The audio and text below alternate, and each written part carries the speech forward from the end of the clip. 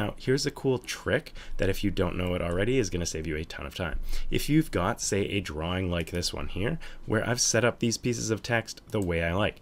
They have annotative turned on, they're on the right, uh, they have the right font, the right size, all of the right settings. You can simply select any one of your pieces of text, right click, and you can create a style from it.